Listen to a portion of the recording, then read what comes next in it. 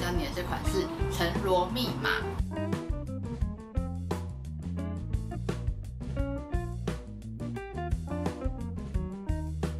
那我们今天有准备了红萝卜一百克，那柳丁两颗，以及芒果大约一百三十克左右，把它全部加进去。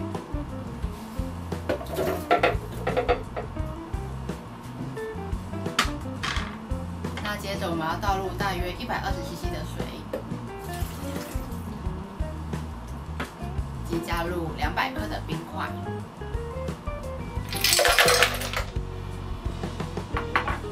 那盖上上盖之后，我们今天用简单的四号蔬果键哦。